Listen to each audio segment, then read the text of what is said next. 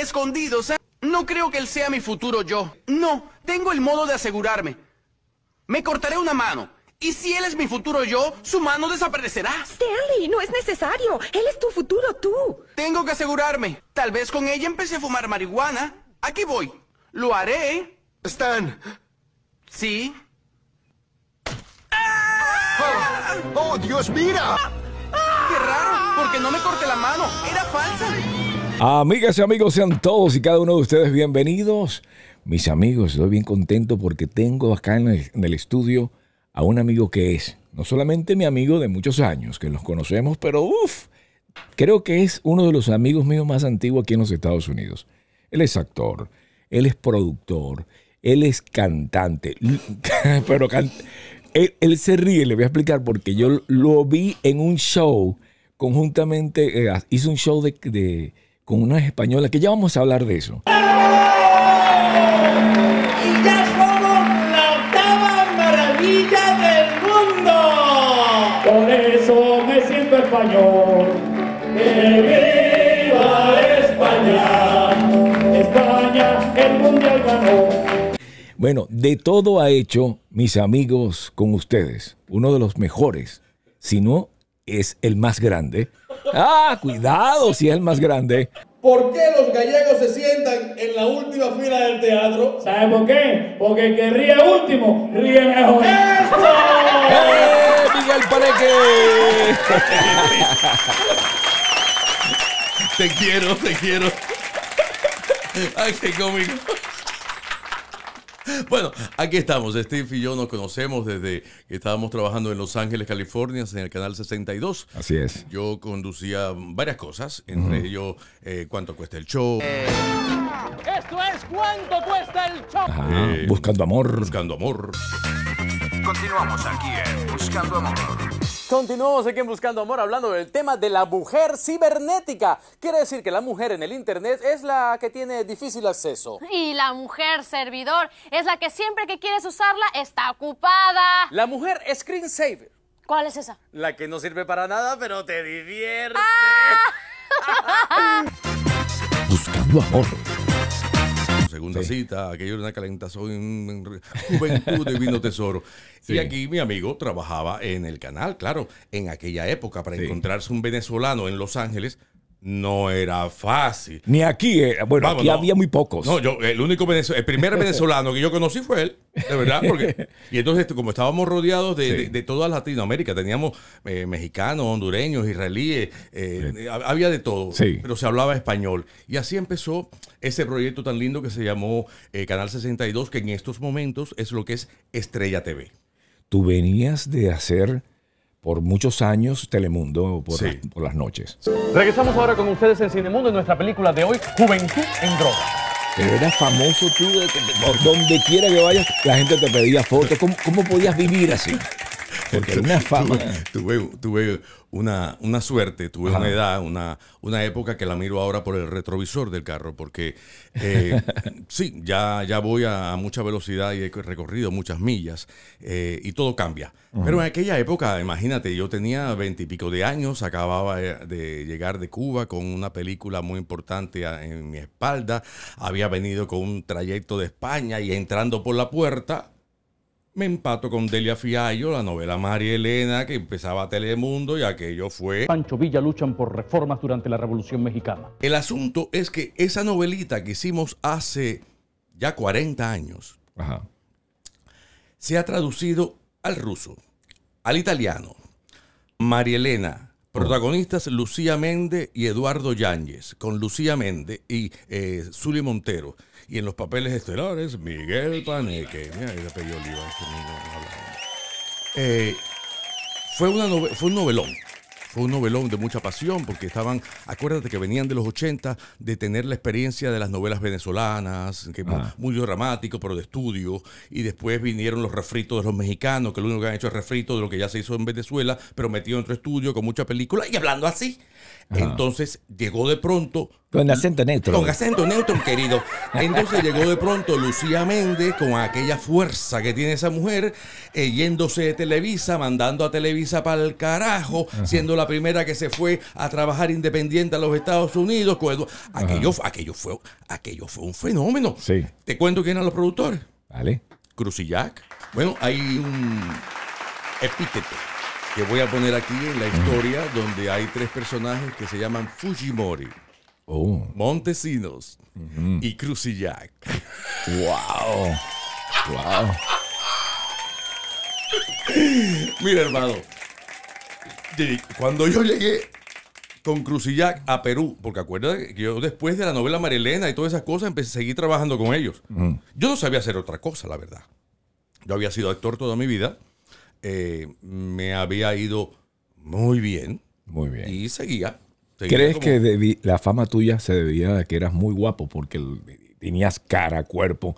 O sea, una de las cosas, sé que tiene que tener talento porque es una de las cosas. Porque hay actores, hay, actor- hay actores que no son tan agraciados y tienen mucho más trabajo que yo. No, en ese tiempo, tú, tú estás hablando ahorita, pero en aquel tiempo nadie No. te- podía tener más trabajo que tú. bueno, lo tenía todo. 24 horas trabajaba. Bueno, Ay, Caramba. qué época más buena, qué época más buena. Sí. Es muy interesante. Cuando yo me, me, me, eh, me voy de Cuba, Sí. yo me fui con, hice una película donde yo volaba en un globo. Claro. Y el sueño de mi vida era volar. Sí. Y dice que cuando yo eh, se pone la película en el cine y está todo el mundo estrenándose así, me decían eh, en la película, yo allá en la pantalla decía, Messi, quiero que me enseñe a volar. y el público decía, ¡y voló! Pero en base a eso, Ajá. aquel personaje era un personaje tímido, niño y Sí. tal. Pero creo que por ahí viene lo que yo buscaba cuando era actor, es ser real. Yo vengo de, de escuela de Stanislavski. Yo vengo de cinco años de escuela de verdad. de- de- eh, entonces, claro, ya la percepción mía En Cuba. en Cuba, en Cuba, ya en el Instituto Superior de Arte. Ya la percepción mía del arte era muy retorcida porque no tenía nada fresco. Ya yo venía de una academia, como el pintor mm, que puede pintar una Madonna, ¿me entiendes? Comparado con el otro que está en la calle ganándose la vida. Bueno, era una cosa así. Digamos, los bailarines clásicos con otros bailarines. Acuérdate que mi madre fue bailarina rumbera, no clásica. Yo sé las diferencias porque después a mí me tocó mucho la escuela. Entonces, con la actuación y la carrera en Cuba, Sí.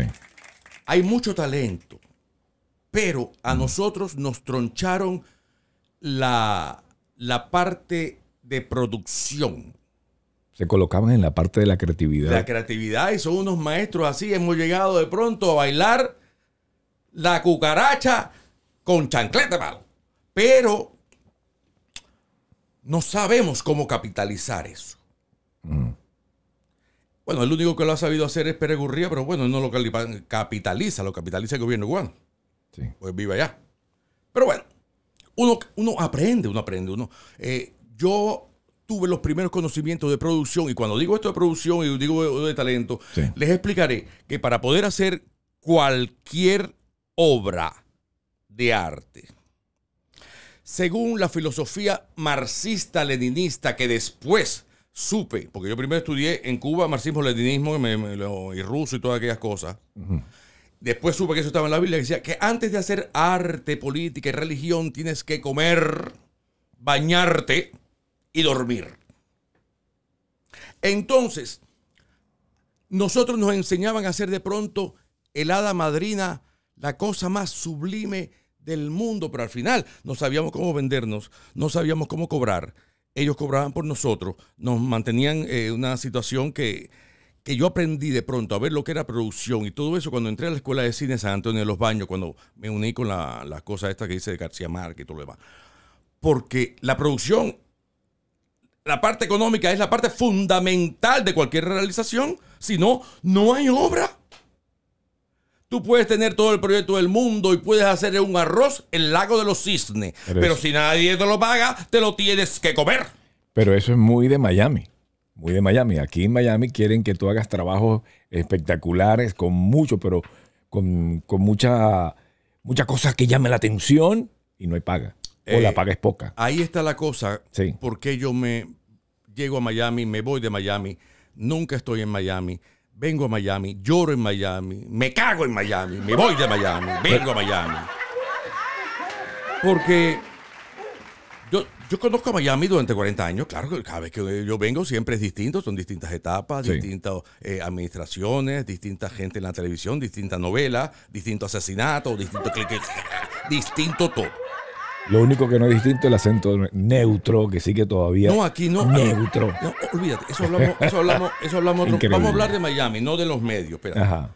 Entonces, todo cambia. Eh, uno llega y ve la- las emigraciones, ve cómo crece, como tú sabes cómo tú llegaste aquí a Miami. No, había venezolanos y de pronto todo cambió, todo cambió. Entonces, yo empecé a, a trabajar allá y cuando tú trabajas en Los Ángeles, Sí. Es muy difícil que tú te adaptes a otro tipo de trabajo dentro del medio en otra parte. Porque o tú haces la producción Sí. o estás embarcado. Porque si tú esperas a que alguien de aquí seleccione, te seleccione como un talento, estás embarcado. Uf, no, hombre. Porque si eres mujer, buscan otras cosas. Y si eres hombre, no saben en lo que están pensando. Entonces es muy difícil. En Los Ángeles no es así, tú sabes. Cuando yo iba a un casting de, de, de, de Kellogg, éramos 60 todos con pantalón khaki y camisita clarita. Y tú los mirabas así y decías, coño, esos mangones, todos iguales. Paneque, pero ven acá. Pero vamos a remontarnos cuando tú estabas en Cuba. ¿Cómo llegó? ¿Cómo llegó el arte en ti? ¿O el arte te descubrió o tú descubriste el arte? Ay, yo no. a mí Yo no creo me- que el arte te, te persigue, ¿no? A mí no me quedó más remedio. Yo, mira, uno es resultado de, de lo, de lo que te rodea. Yo nací. Ajá. ¿Tú sabes quién es Pello Lafrocán? ¿No? Mozambique. Son gente, me imagino, importante cubana. ¿Puedes buscar algo ahí de Pello Lamo- Lafrocán en Mozambique? Pam, Mozambique, pam, pam, pam, Mozambique. Resulta que eso fue un, un fuerte eh, ritmo en los años 60. Eh, exactamente, yo nací el 30 de julio de 1965. Eh, estoy esperando cualquier regalo en las próximas semanas, que saben que te cumpleaños. Yo nací Ajá. cuatro días después de mi madre haberse puesto de parto. Eso es peligroso para un, un bebé al nacer. Sí. Yo nací con el cuello a, a tripa y la cosa, muriéndome el 30 porque mi mamá se puso de parto el 26 de julio, Saliste azul. azul. Y Ah, no- y después no- te volviste rosado. y no porque era después te volviste blanco. Cuando tenías frío, otra vez azul. Y, dice, y después le llamas a la gente de color. El de color eres tú. Así es. Pero tú sabes que yo tengo todas las razas en mi familia. sí, yo sé. Ah. Yo sé, yo sé. Lo mío es, yo no sé, eh, Una liga. Es un reguero de espermatozoides por todas partes. Sí. Ok, ¿cómo te persiguió a ti Ah, no, el ok. arte? Pello la Frocán, la cosa. Resulta que en los 26 de julio Ajá. es el gran carnaval de La Habana. Ok. Es una fecha patriótica, pero el carnaval de La Habana, el malecón, donde se hacen las carrozas igual que Brasil, en aquella época, Sí. era en La Habana. Sí, sí, sí. Mi madre era bailarina, yo nací, soy hijo de una showgirl. De cabaret, de Capri, Riviera, Sanssouci, de la época de los 50, de la época de los grandes cabarets. Ella es como shows. tú. Sumamente. ¿Tú la conoces? Claro. ¿Qué tú crees? Uf, tiene una energía que es paneque. Entonces, Aunque el apellido de ella es. Paneque, yo soy Calvo Paneque. Ok. Yo soy Jorge Miguel Calvo Paneque. Ok. Bueno, Y entonces, a ver, ¿cu- ¿cómo fue la primera vez mi que se- madre estaba en la carroza del carnaval, de los carnavales de La Habana, bailando y remeneando aquel culo, porque ella era bailarina principal y coreógrafa de aquella gran orquesta de bailarinas, donde Pello Lofrocán y la Nora Flavia y todos los demás eran las estrellas arriba de la carroza. Con un cuerpazo impresionante. Con paso impresionante tenía nueve meses de barriga. Pero también el cuerpo de ella. Oye, con nueve meses de barriga, mi hermano, qué cuerpo impresionante. Eh, aquello era, pero ella estaba gozando, imagínate tú, 24 años, Ah. 26 años. y, eh, a ella le dio el dolor Ajá. y se llevaron para el médico, pero el médico dijo que seguramente había sido algo muscular porque ella estaba en la carroza. Muscular nada, era yo, que ya yo estaba bailando allá adentro y dando gritos. Entonces, la primera vez que yo tengo concepto de que yo estoy actuando, no quiere decir que eso me gustaba. Ok. Al que quiere ser famoso y quiere ser actor, cuando le- la cosa le sale mal en la vida, se mete en actores. Pero el que es desde chiquitico, uno no sabe que está actuando. Uno está ahí jugando. Entonces, ¿alguna vez tú fuiste al trabajo de tus padres? Sí. A ver qué hacían ellos.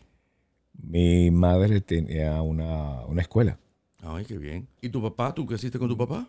Sí, claro. ¿Y entonces qué hacía tu papá? Mi papá tenía una, em- una empresa de aire acondicionados industriales. Quiere decir De- que nunca de- lo veía. De los centros comerciales. No, sí. Ajá. Lo veía a diario. Ah, qué bien. No, me, me hubiese gustado no verlo porque era muy jodido. Como todo el mundo tiene una puerta, un pasado y una diferencia, yo soy hijo de una madre soltera. Ajá. En un momento en que ustedes pasaron muy bien, que la mitad de la familia estaba contra la otra mitad de la familia. Yo nací a cinco años del poder del, del gobierno revolucionario, hijo de puta. Entonces, en ese momento, las familias se mataban, se encerraban unas a otras, y la mitad se iba del país, la otra se quedaba como cabella, como gallina de como mismo le pasó a ustedes. A nosotros nos pasó en esa época. Yo nací en ese medio que lo único que salvaba la situación era Pello Lafrocán, los bailarines, la rumba, porque el cubano pasa mucho trabajo, pero cuando tiene ron, se le acabó todo. Ok. Continúo. A ver. ¿Qué otra parte quieres? ¿Cuándo fue el momento de que tú dijiste, quiero ser actor, quiero dedicarme a esto? Ay, pero es- más interesante lo otro que cuando yo dije quiero ser actor, dije quiero ser actor porque no me quedaba más remedio, era o Ajá. eso o me quedaba en Cuba. O sea, que lo estabas haciendo más bien porque no, te tenías, no tienes otra alternativa.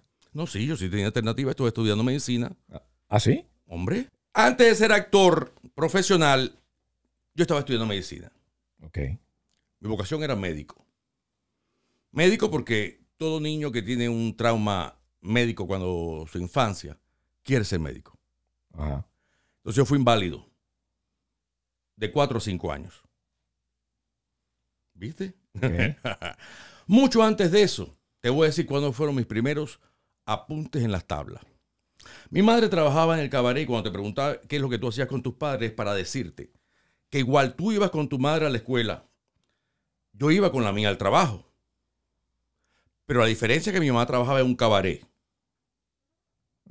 Y tú dices, wow, no, no, no, no, no, espérate. Sí. Yo iba al cabaret por la mañana, en los ensayos.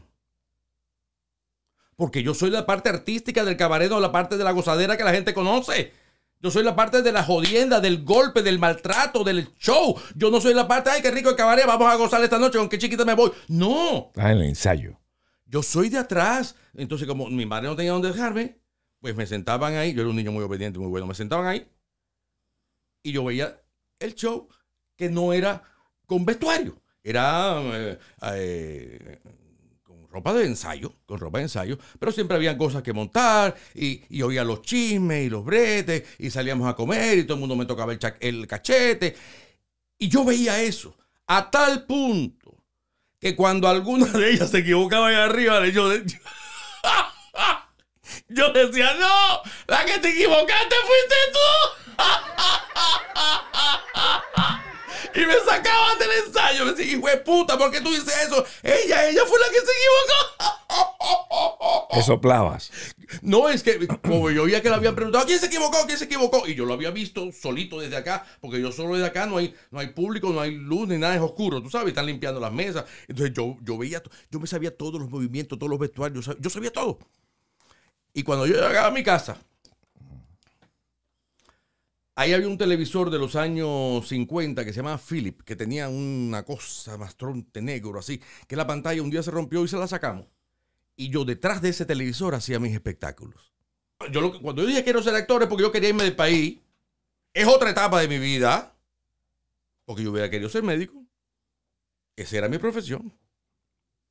Pero cuando decidí ser actor, Hablas como si tuvieras eh, resentimientos o, o no te gustaba o no te gustaba en sí la, la actuación.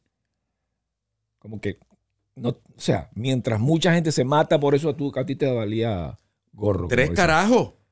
Siempre me ha importado tres pitos. Ajá. Porque yo conozco de atrás, coño, cómo la bailarina se le jode la uña, cómo el otro se revienta porque no lo.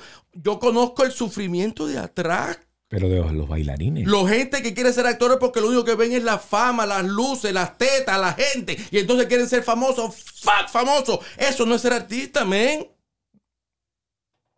Eso dura dos, tres novelas y se acabó. Yo soy de atrás. Yo soy del músico que está de atrás, que, está fajado a aprenderse los ritmos y tiene que salir en dos horas al show en vivo y todavía está de atrás. Concentrado el solo, que le pasa por atrás a la otra, preocupada porque el vestido no le cierra y no se sabe la canción. Y entonces tú, yo estoy acostumbrado a ver al artista cagándose antes de salir a escena. Yo no estoy acostumbrado al artista glamuroso y Jennifer López como sale adelante. No, no, no, no, no. Yo soy el que le aguanto el culo a la bailarina y la levanto así, ahí arriba me mea. Porque eso pasa. El público no se da cuenta. Tienes anécdotas, así que recuerdas Ay, cosas mira, porque te estoy contando. Me puedo imaginar cosas locas que quiere decir. Cosas de risa de no parar. No, cualquiera. que Cosa te de risa de no parar. Estaba en el teatro pequeño, haciendo teatro. Una comedia checa. No me acuerdo cómo coño se llamaba. Con dos actrices muy mayores. Entre 90 y 90 y pico. Y tres actores que éramos como primos. Dos, uno de ellos era eh, un hijo de puta ahí, que no voy a mencionar el nombre. Y el otro era una muchacha muy bonita. Entonces, ¿tú sabes lo que no me gusta de este, esta- de este negocio? La envidia. La envidia. Sí, lo sé. Y después que toque esto, voy a hablar de eso. En- sí, porque. Agárrense, agárrense. Agárrense de las manos. Sí, sí, sí. Déjame tomar. Oye, esto me gusta mucho. ¿Tú crees que hay que haber una El- pausa antes de El retomar? double black. Sí, Oye, el vamos double a. black. Who like black? Platicando con Miguel Paneque. Vamos a hacer un refill. No, espera, espera. Déjame terminar esto. Sí, de- de- y nos vamos a refill Sí, después. Vamos a terminar Te voy a contar cómo fueron mis primeras actuaciones creadas por mí, producción mía, que tú me dices que yo me acuerde. ¿Tú sabes qué edad yo tenía? Entre 3 y 4 años, antes, ¿Qué? antes de mi accidente. Entonces fui actor una vez en la vida que quise irme del país y fui a acompañar a mi prima a la escuela de actuación porque ella era la que quería ser actriz. Pero como yo era muy bonito, ella dijo, yo voy con este. ¿Sabías que era bonito? Sí. El bonito sabe que es bonito siempre. Porque desde chiquito están diciendo, qué lindo, qué lindo. Y tú llegas a los lugares, te abren la puerta y todo el mundo te mira así. Todos Sí, querían contigo. La todo, mayoría. Todo. Hombres y mujeres. Gatos, perros, todos. Todo. Es normal. El feo, tú te das cuenta que es feo. Te quitan dos palabras y sigue. ¿Nunca fuiste violado? Porque ese mundo es, pel- es peligrosísimo ¿Por qué? para los niños. ¿El qué? El mundo de la televisión o y que esté la mamá ocupada y el niño solo es bastante peligroso. A mí me trataron de hacerlo dos veces. Bueno, pero yo no tengo los ojos verdes tuyos. A ver, Tal cuenta. vez tú provocabas más. Ah, cuando estaba muchacho, quién sabe. No, pero es que tú eres un galán. Tú eras un galán. Pero si yo no te cuento cómo salí del closet con tres A ver, años y te cuento el detalle, tú no me puedes preguntar si yo fui violado porque todo es una consecuencia de la vida. Tú eres un hombre difícil. Porque veo que eres difícil en la vida actual. ac- ac- ac- coño, en tu vida normal y regular, eres así de complicado. Claro, gracias a Dios. Si no fuera de dos páginas ya. O de que, que, que, que, No, no, no, no. Yo tengo armonía y profundidad. Medicado. También. También dice. Eres muy sincero. Hombre. Hombre. El secreto para tener éxito en, en este mundo de la actuación hay que ser un poco loco. No, hay que aguantar muchas patadas en el culo y sonreír. Perseverancia, entonces. Perseverancia. no sabes después de cada patada esa como yo salgo de ahí. Sí.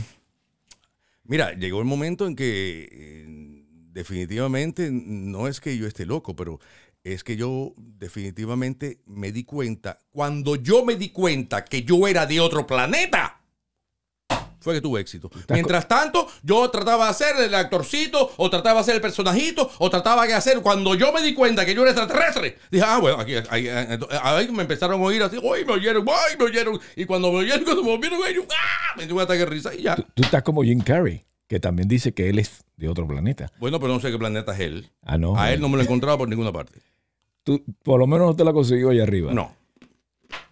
Miguel Paneque, ¿cuándo saliste del closet? ¿Viste? No sé. No sabe. Yo nunca he salido del closet. Todavía estás ahí adentro. Estoy loco por hacer una organización para meter unas cuantas locas como yo que no queremos nada que ver con el orgullo mariquita ese. Ajá. Para meterlas todas dentro del closet otra vez. Porque en primer lugar, a mí me gustan los machos, no las mariquitas. Por eso yo sigo en el closet. Porque me gustan los machos, no las mariquitas esas que salen a hacer y se ponen una pestaña y salen para afuera. No, no, ¿qué te pasa a ti? Yo soy, yo soy antiguo, chico. Si yo soy maricón que porque me gustan los hombres. ¿Y ya? Es verdad que cuando un hombre es gay, es gay, o sea, gay, feliz, No porque sé. la palabra gay es feliz, ¿estás feliz? ¿Eres feliz? ¿Te sientes feliz? ¿Paneque es feliz? Mira, la palabra gay cuando se hizo un hombre feliz no se hizo con la connotación de ser gay. Se hacía con un hombre feliz. Porque el ser gay es lo más duro y lo más terrible que te pueda pasar en tu fucking vida. Se sufre mucho. Te atacan, te, te dicen cosas. Por eso que se- algunos se aguardan en el No, closet. no, no, no. Es que tú los ves a todos distintos. Mm, Porque tú me hablas, eh, te dicen, te tú me hablas como de afuera, mirando un maricón, y, yo te estoy respondiendo de adentro, cómo es la cosa, que no es lo mismo que yo te vea los ojos verdes que tú me veas los ojos negros. Porque tú estás viendo esto delante, pero tú no sabes lo que yo siento. Es cuando el negro me dice, oye, mi negro, tú no sabes ese momento lo que el negro siente. Es igual conmigo. Oye, cada vez que alguien me dice, mira, el amigo mío es gay, y me, me cago en el coño de tu madre, si me presentas a tu padre, le cojo el culo aquí. Y se me quedan así. Digo, bueno, entonces no me presentes como gay, preséntame como tu amigo. Y se acabó. Yo nunca te he presentado como Bueno, gay. pre- pero No, yo no te digo. Estamos hablando Es de- que no entiendo que alguien presente a alguien. Siempre. Bueno, no lo entiendes tú porque no te han presentado, pero si te lo digo yo, me lo vas a tener que creer. Dice, mira, te presento a mi amigo, es straight. Exacto. ¿Qué tiene O que ver? presento a mi amiga es gorda. No, si la estás viendo. ¿Qué te pasa? Pero es que a ti no se te nota ni un poquito gay. Tú eres muy hombre. Porque te dije que a mí lo que me gustan son los hombres. Entonces yo no puedo lucir muy mariquita. A mí me gustan los hombres como yo. Me gustan hombres para darle golpe y hacer Tienes otra buena cosa. voz, tienes buena. Ah, Nadie podía decirlo Bueno, si no lo dices. Y el paneque. Es la cuando tenía tres años, viendo yo los shows de cabaret de. recuerdo que era el Riviera. Los fines de semana, yo no podía ir al cabaret porque mi mamá estaba trabajando, entonces yo me quedaba con mis abuelas por parte de padre. Que no tenían nada que ver con la farándula, al contrario, eran de otro nivel superior. Y entonces, como no había radio, no había internet, no Sí. había, no había dildos, no había nada de eso, Sí. yo creaba mis propias producciones. ¿Y qué es lo que tú, que tú crees que yo hacía? Preparaba mi televisor, le ponía una cortina, lo hacía yo, le ponía una cortinita y salía del cuarto vestido. ¿Cómo? ¿Puedes pensar cómo? Ni idea. Como una actriz. ¿Actriz? ¿De qué coño? ¿Qué coño es una No sé, actriz? como una mujer, pues. Como mi mamá, que es lo que yo veía todos los días en el show. Si yo lo que veo show de cabaret con mujeres saliendo por aquí, mujeres saliendo por allá, ¿qué es lo que voy a hacer yo? ¿Superman? Claro. Entonces yo salía con unos tacones de mi mamá, una media en la cabeza, el pañal, y detrás del show hacía, bueno, no los movimientos, pero trataba de hacer eso que ellos hacían allá. A mis abuelas les da un ataque de risa, que aquello es lo más grande del mundo. Es muy divertido. Ahí te digo yo que es mis primeros pasos en las tablas y mi primer acercamiento a qué es lo que viene por ahí. Prepárate. Ay, ay, ay. Vamos a dar un salto más adelante porque. Ay, no, el accidente, el accidente no, porque van a llorar, voy a llorar, me van a recordar muchas cosas. No, vamos, vamos yendo para el final. ¿Cómo es la cosa? Estoy pensando en tu abuela. ¿Cómo ¿Cuál era de ella? ¿Cuál de ellas? Ella, eh, la que se reía mucho cuando te estaba cuidando. Ah. Es la mamá de tu De mamá. mi papá. Ah, de tu papá. Sí. La mamá de mi mamá, eh, le, los hijos le llamaban Hitler. Wow. Severa entonces. Una gallega que decía Costars. Ajá. y por ahí para allá era un gasnatón. Por parte de, de- de- de padre eran más civilizados. por eso se divertían con lo que yo hacía y no, no lo veían como que este niño es mariquita o que... No, no, lo veían como que era una cosa muy, diver- muy divertida. Y ahí yo cantaba, yo actuaba, pero claro, eh, la- la- eh, como un niño ve a su papá que se afeita, yo veía a mi mamá que se maquilla. ¿Y tu papá nunca lo viste? Sí, pero yo no veía a mi papá afeitándose, yo veía a mi mamá maquillándose, pues era con quien yo vivía. ¿Y él? ¿Tú no lo veías fines de semana? Este fin de semana con mis abuelas y esas cosas, Ah, ok. Eh, no es como aquí, que la gente, eh, los padres tienen que ir por el gobierno cinco horas a llevar a los muchachos a que coman mierda al parque. Los Allá no. Eso lo tienen que hacer aquí. Allá no, mi hermano. Allá los padres. Imagínate tú, mi padre tenía 25 años. ¿Tú crees que se iba a quedar en la casa mía a llevarme al parque a que yo caminara y volviera de regreso? No, mi amor. Si mi padre siempre fue. Mira, mi padre y su hermano fueron a Boston a estudiar. Mi tío se graduó de economista en finanzas y mi, mi- mi papá en las barras. Por eso es que conoce a mi mamá. ¿Cómo tú crees que va a conocer a mi mamá? Sí. En la universidad, en la biblioteca. La conoció porque él era un picaflor, mi mamá era la bailarina, él era rico, mi mamá era pobre, él se iba del país y mi mamá se quedaba con todo. Y ahí vine yo, el cabezón. Y pasó Y él- el tiempo eh, y pasó ¿quién- quién un águila por el mar. ¿Quién de la familia era así guap, tan guapa? Tan bonito. Eh, mira, hoy, ¿Tu padre? reci- hoy recibí. Ay, padre, come mierda. Hoy recibí. Pero puede ser un come mierda bonito. No, este era un come mierda feo. Ok. Este era un español de esos blancos así, de, de pelo ¿Español? negro. Sí, mi padre es español. Ah, mira. Y to- yo soy mezcla. eh. entonces, normal. Los españoles de ahora están muy lindos, pero los de antes eran blancos, transparentes, así, con pelos negros. y Pero después- si tu mamá es blanca y tú- no, Yo la veo blanca. No, no, no, no. tendrá sus ra- sus No, raíces, No, entonces. pero es blanca lo No, que no digo. joda, no. Cuando yo llegué a vivir a España, yo me di cuenta que yo no era blanco. Te callé, ¿verdad? En mi familia, por parte de padre, eran eh, mis abuelas y mi papá. Era una mezcla como de, de irlandeses y españoles. Mis abuelas eran pelirrojas y mi papá era blanco con una leche. Y mi mamá, ahí estaba un poco ya más mezclada la cosa. Ahí tenía a mi abuela que había nacido en España, a mi abuelo paneque, que imagínate tú la palabra paneque, donde único yo he sacado mm, que pueda hacer, me voy a hacer un, un ADN estos días, pero que yo pudiera sacar una raíz o un qué cojones es eso, es que paneque en caló, que es el idioma de Filipinas, significa murciélago. Quiere decir que está presente a Batman. Eh, ¿Me entendiste, verdad? Sí, sí, sí. Eso es paneque. Entonces, tú te das cuenta que el papá de mi mamá, eh, en Cuba hay una mezcla que es de indio cubano con negro, con chino, que da una mezcla de, de sabrá Dios qué otra cosa. Y mi mamá es hija de eso con español. Hoy vi una foto. O sea que solamente es el 25% tampoco. Exacto. Ahí. Exacto. Exacto. Mi mamá es blanca, pero blanca de mi país. Es un tipo blanco, que no son blancos. Es, es así, es, una mezcla. Entonces, mi, mi familia, hay esa mezcla, y mi, mi madre y mi tía lucen esa eh, mezcla de un chino perdido que no se sabe de dónde que me imagino que sea algo filipino con esto de, de, de, de las razas. Visto, mi tía tiene esa cosa de, China y mi hija, ya, ya cayendo ahí en la cosa, Yo la, estoy, la he Viste que visto China. muchas veces, no es China, pero tiene esa cosa asiática. Tú Sí. dices, una española no tiene esa cosa asiática. pero muy poco. Es como tú, tú, tú tienes eso, pero leve. Tus ojos los tienes un poquito achinados. pero- Excepto cuando fumo. Me meto un pito y los ojos se me ponen que soy un chino japonés. Ahí sí, ¿eh? ¡Ah! Estás Ah, bueno. escane- escaneando a todo el mundo. Escaneando a todo el mundo. Pero no todo el mundo me ha visto así. Así que Ajá. continuamos. Borracho, borracho sí. Pero es, medi- es medicina, te lo mandaron como medicina. Pero lo utilizas como, como enjoying. La vida, la vida tiene que ser enjoying porque la vida es medicina, es una cagada.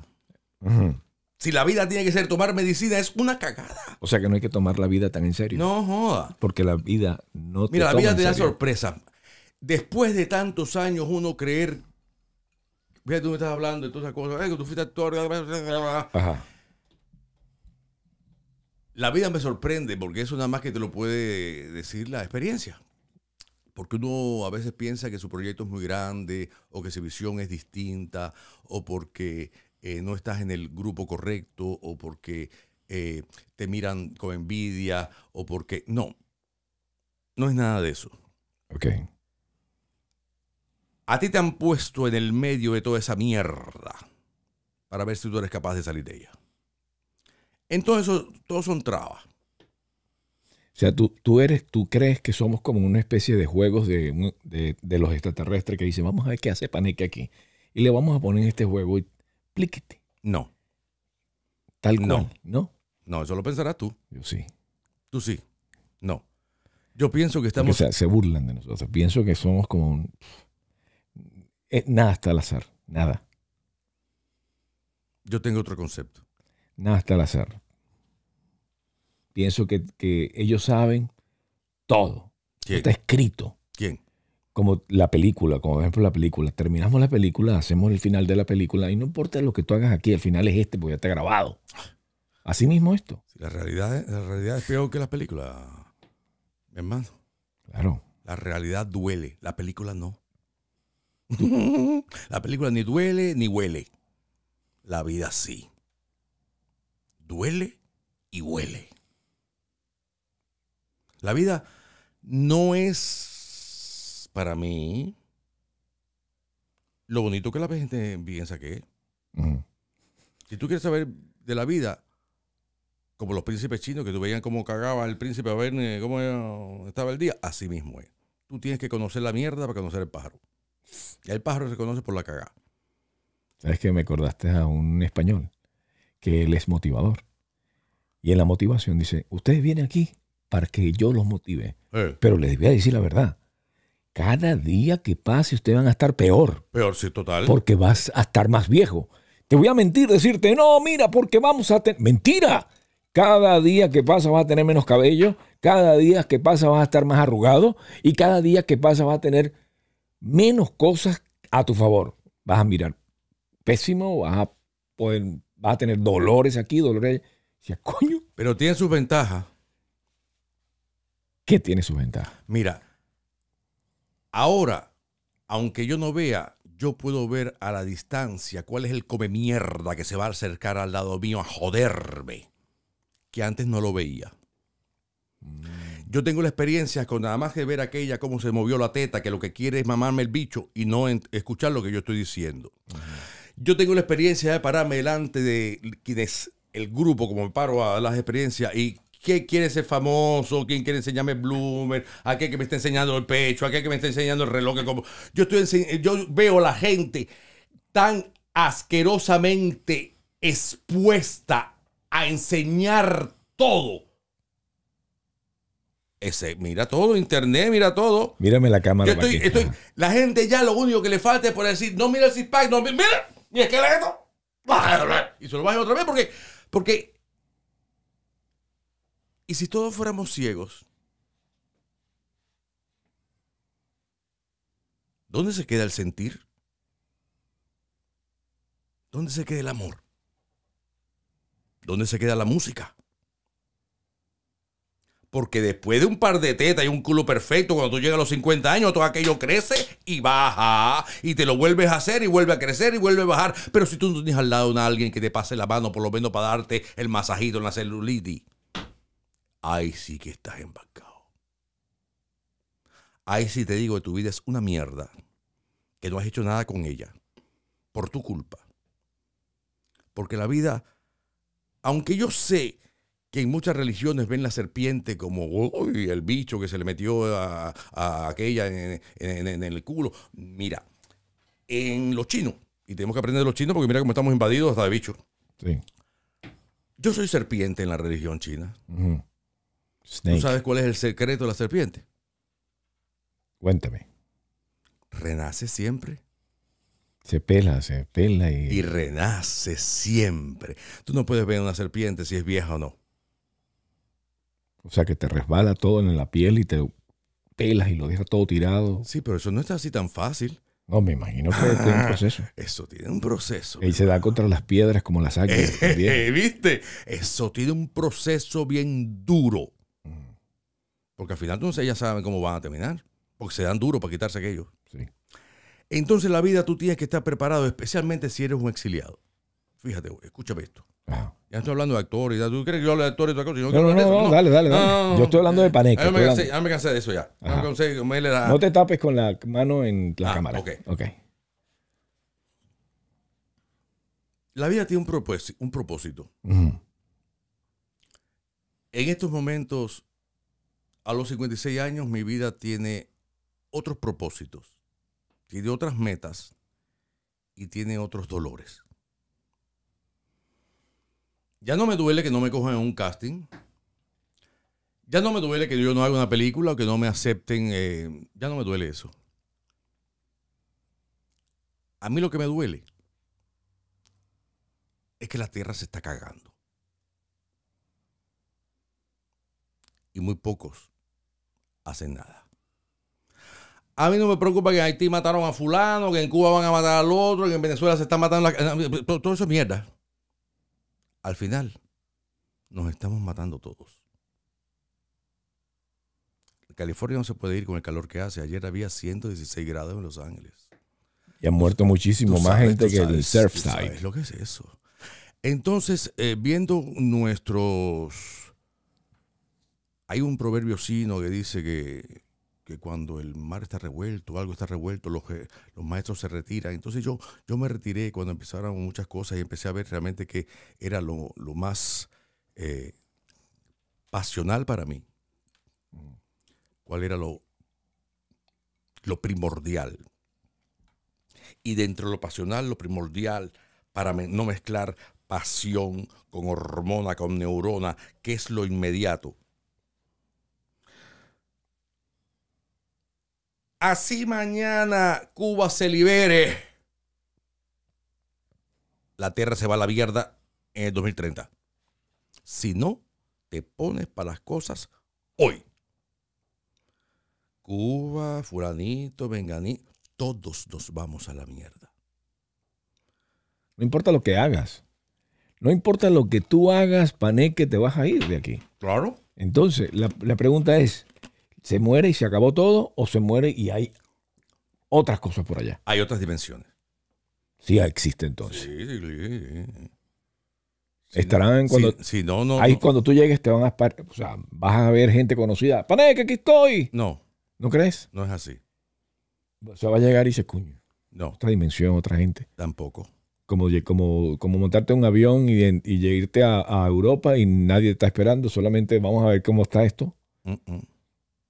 ¿Cómo es para ti? Imagínate que tú seas elemento gas. Una energía, algo así. Gas. Ok. Pero que no seas mal gas, porque si es mal gas es como un peo. ¿eh? Tú no puedes seleccionar lo que tú vas a hacer, pero todos vamos a terminar peo porque nuestro cuerpo termina botando metano. Y eso es peo. Eso es peo y mierda. ok. ¿Ok? Si tú no sabes eso, estás embarcado. Pero porque la- del lado ya no te esperan con agua bendita y, y entre... No, mi hermano. Cuando tú caes muerto, lo que tú desprendes es mutano el cuerpo, pero tú a, nivel de alma. Ahí está la cosa. Ajá. ¿En qué te transformaste en ese momento? ¿No crees que haya alguien que.? Te lo acabo de decir. Sí, sí, en gas, pero ¿en, qué crees tú? ¿No crees que hay una persona esperándote? Paneque, aquí estoy, ven. Agarra, agarra, mi mano. Vamos a pasar el puente. No, hombre, no. Acuérdate que ya me dio un infarto, yo fui en el puente y ya miré y yo vi. No, no, no, no, no, no, no, no. no. No, no. Todos tenemos, eh, eh, no sé si tú has visto en eh, esas cosas que son como unos mapas que tienen muchos laberintos dentro. Que, todos estamos en la misma dimensión, pero no. Los tiempos nos han enseñado a nosotros que el tiempo es lo que marca el reloj y que el sol sale por un lado y sale por el otro. Ese no es el tiempo. Esa es la rotación de la Tierra, pero no es tu tiempo. Tú lo mismo puedes nacer y morirte a los dos meses que nacer y morirte a las 654 mil vueltas del mundo. Ese es tu tiempo. Entonces, cuando se entienda que el tiempo no es correlativo con esto del espacio, porque el tiempo no existe. El tiempo no existe. El tiempo lo único que es eterno. Ah, sí, que sale el sol y que va el sol y que hay un reloj muy suizo que vale muy caro, sí. Ujú. Pero igual que el billete, el billete no existe, todo es un concepto que tú le has puesto arriba. ¿No crees que hay un, un arquitecto que hizo todo? Arquitecto, ¿tú crees que es arquitecto? Bueno, tiene que saber mucho. No sé. Eso Le llaman el arquitecto. Muchas religiones. Yo no soy muy religioso. Yo tengo mi propio concepto de religión. Paneque Religion. Sí. Antes creía yo también eso. La religión era mía. Bocaranda Y Religion. además no la quiero compartir con nadie. Muy tuya. Muy tuya, muy mía. ¿Sabes cuántas veces me la han arañado? Pero si usted quiere pertenecer también a Paneque Church, de su diezmo. No, no, no, no. Venga los domingos. No, porque las religiones, la iglesia me recuerdan Cuba, eh, donde me quieren enseñar una cosa que no creo que me están diciendo, pero me lo, me lo tengo que aprender así sea en ruso. Entonces no creo ni en religiones, ni en, ni en iglesias, ni, no creo en nada de eso. Yo creo que yo, Sí. esta energía que yo tengo aquí, esa es Dios. Yo soy Dios. Pero eso es lo único que yo creo. Entonces, al yo creer esa manera, no nunca me voy a traicionar. Antes de eso, yo oía a fulano, yo oía a Mengano, yo, yo, nah. Todos quieren esa luz, porque ellos no saben que ellos también son Dios. Pero ellos son, eres, ellos son tú. Ellos son un reflejo. Está desde tu corazón, está de tus células, está de tu respiración, está de todo. Todo es vibración. Correcto. Fíjate que el que no vibra y no se, se muere ahí en la cama, se le paran la- las nalgas, se, le, se quedan duros, porque todo es vibración. Puedes vibrar negativo, puedes vibrar desonante, puedes vi- vibrar eh, que no es el ritmo que la gente acostumbra. Y Pero atraes lo que la vibración trae mucha la misma frecuencia. Sí, yo, yo me cansé de atraer y empecé a cortar. Ese es un éxito muy importante. El no escuchar, el no ver y hacer lo que realmente te está saliendo y lo haces. Si empiezas a ver, si empiezas a comparar, si empiezas, pierdes tiempo, no te aporta nada, no ha salido de ti, estás haciendo una copia de algo que a aquel le dio resultado, pero a ti no te va a dar resultado, porque si no sale de ti y no sale de tu ovario y tu huevo, ahí no hay nada. Bueno, es que es difícil esa parte. Porque, Todo es difícil, mi hermano. porque el hacer cosas por dinero para una persona puede ser su éxito. Mi éxito podría ser el ganar mucha plata. Bueno, es que esa- es- Pero de- no necesariamente. Depende del éxito tuyo, porque si el éxito es ganar plata, entonces eres esclavo de fulano porque te paga el dinero que tú Claro, quieres. por eso, porque pero tu visión es tener eso. Ese es el yo, éxito de esa persona. Que Pero me gusta vivir en una casa, en un bote, pescando así. Ese es el éxito Es tuyo. el éxito mío. Correcto. A ti te cuesta vivir 100 millones de dólares y yo vivo bien con Y 15 hacer- pesos. Pero lo que pasa es que todo está inve- inventado.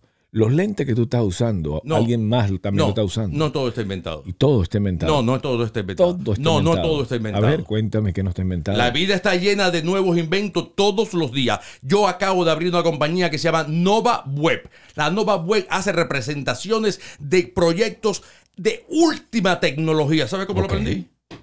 Eso está, eso también hay compañías de eso. No, Anteriores existen. Eh, Es, es que te- hay tecnología, todo, hay cosas nuevas, hay cosas, todo, todo, Es todo, nuevo en ti. es nuevo. Es nuevo en ti. Pero todo está inventado. Mientras ahorita tú llegas, mira, eh, ah, iba a decir algo, pero mejor que no lo cuente porque eh, eran cosas de muchacho.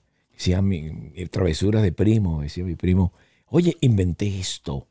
Me dice otro primo, otro primo, hey, cam- eso ya está inventado y no te hagas eso.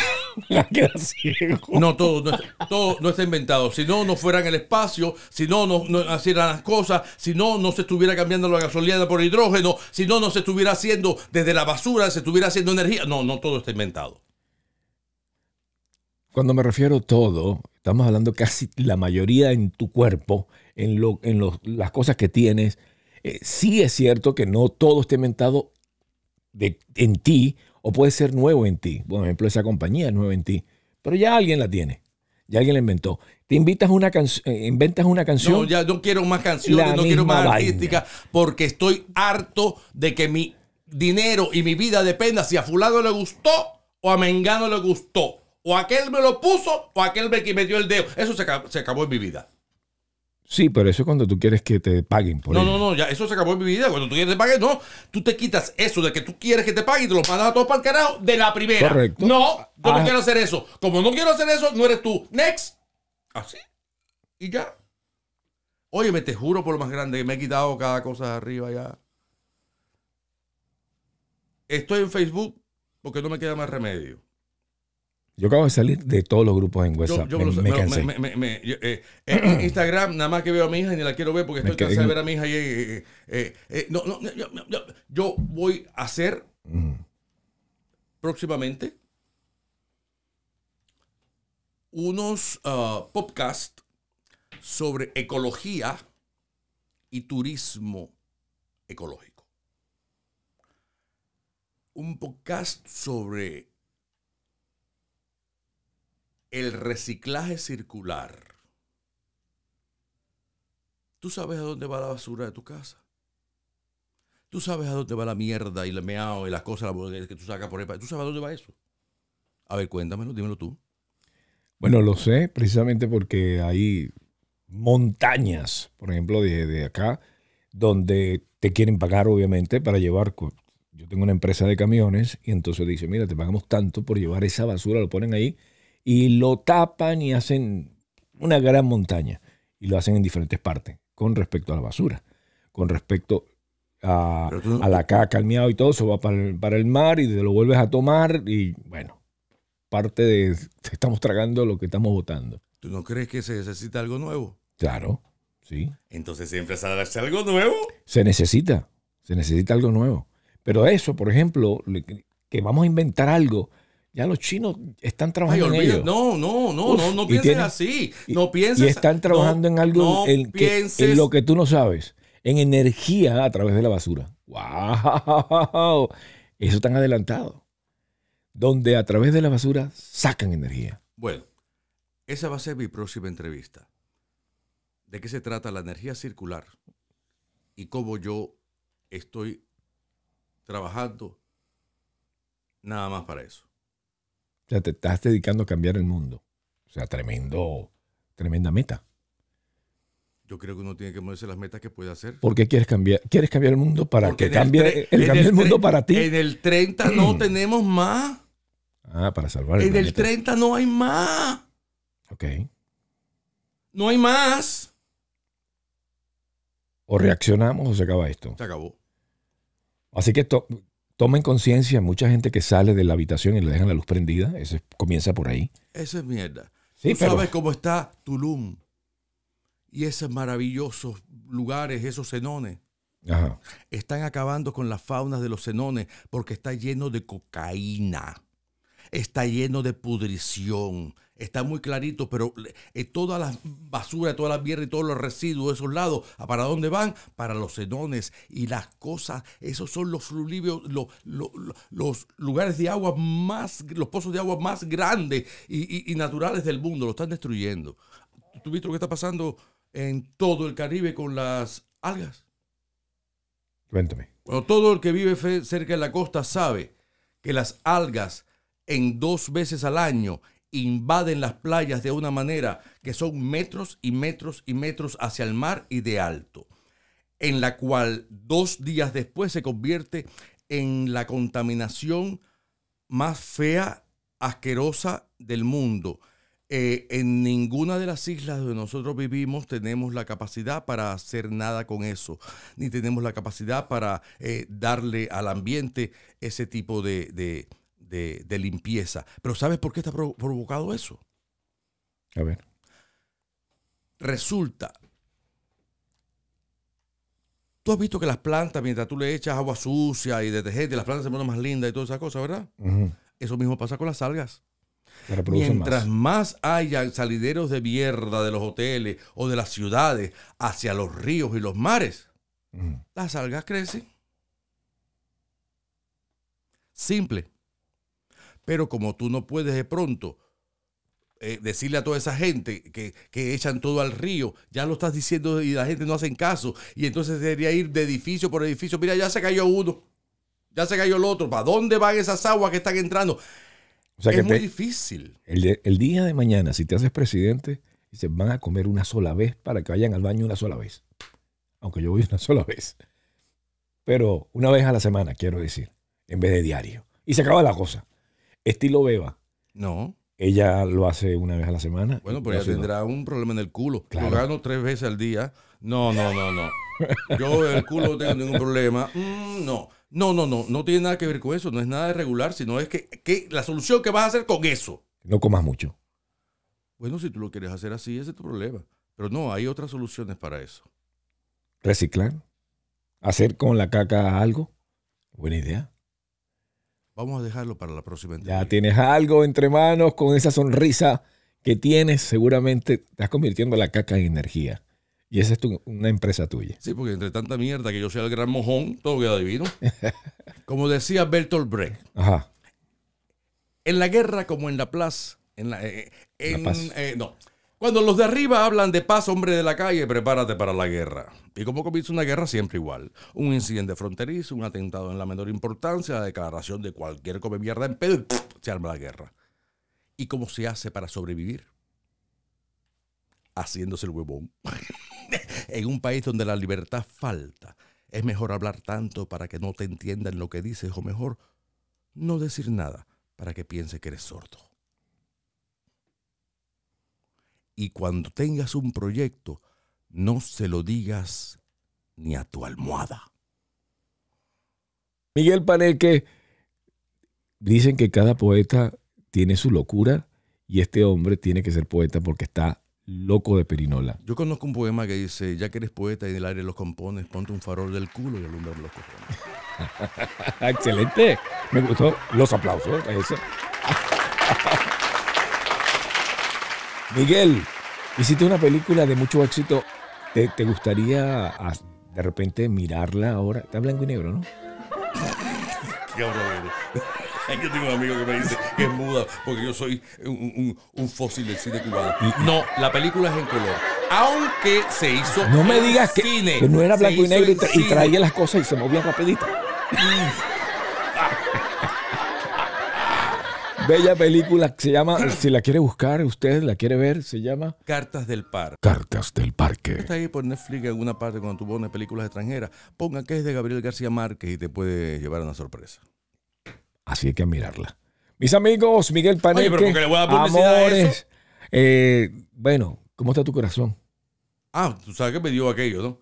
No, Ajá. todo divino, todo divino. Ya encontré ya quien que me, me sacara la energía y ya estoy ya feliz. Ya está bien. ¡Hombre! Ahora estás como No un vio un exceso de testosterona que ya lo tengo de balanceadito. Perfecto. Ay, muchacho. Mis amigos, si usted quiere saber un poco más de las locuras, Ay, yo de- le- ver su, de- Yo su le, demo, pido, yo le pido mucho disculpas a tu, Ajá. a tu público venezolano, que es un público muy decente, que es un público muy, muy, muy fino, que no, no, no, no dice nunca ni, ni pinga ni cojones. Pero bueno, nosotros sabemos decir esas cosas en su momento.